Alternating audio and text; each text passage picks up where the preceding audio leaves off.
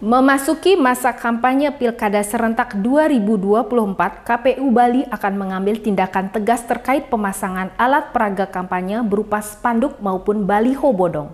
Didampingi Bawaslu, Pol PP hingga aparat kepolisian penertiban APK bodong akan dilakukan tanpa pemberitahuan tim SES maupun partai pengusung masing-masing paslon.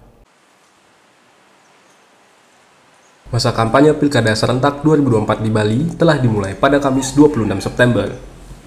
Tindakan tegas diambil KPU Provinsi Bali jika mendapati pemasangan alat peraga kampanye atau APK bodong dari masing-masing pasangan calon selama masa kampanye hingga 26 November mendatang. Dengan menggandeng Bawaslu, Pol PP hingga aparat kepolisian, APK bodong berupa spanduk, baliho, dan lainnya akan diturunkan langsung tanpa sepengetahuan tim sukses maupun partai pengusung paslon. Ketua KPU Provinsi Bali, Idewo Agung Gedele Dartawan, bahkan mengatakan bagi paslon yang kedapatan melanggar aturan penggunaan APK tersebut akan disiarkan di media massa secara terbuka. Lidartawan mengungkapkan sesuai aturan PKPU, pemasangan baliho ataupun spanduk hanya diperbolehkan yang resmi dan berstempel dari KPU Provinsi Bali. Pemasangan APK tersebut juga dibatasi per kabupaten dan kota, sedangkan di tingkat desa hanya diperbolehkan pemasangan satu spanduk kampanye pasangan calon.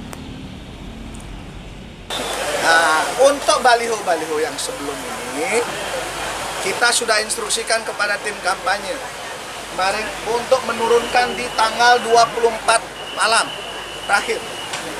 Tanggal 25 seterusnya itu tidak ada alasan lagi. Kami akan nyisir semua akan kita robohkan semua. Tanpa pandang bulu. Nah saya sudah sampaikan.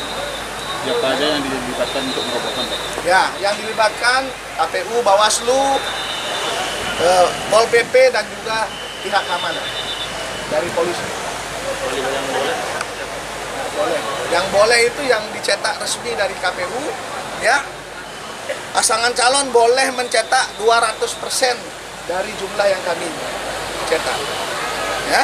Silakan, boleh. Tetapi nanti baliho-baliho yang mereka pasang harus ada stempelnya KPU. Yang tidak ada stempelnya KPU berarti bodong dan kita turun. Masa kampanye Pilkada serentak di Bali akan dibagi ke dalam dua zona wilayah. Zona satu meliputi wilayah Kabupaten Buleleng, Jembrane, Tabanan, dan Badung. Sementara zona 2 meliputi Kota Denpasar, Klungkung, Bangli, Gianyar, dan Karangasem.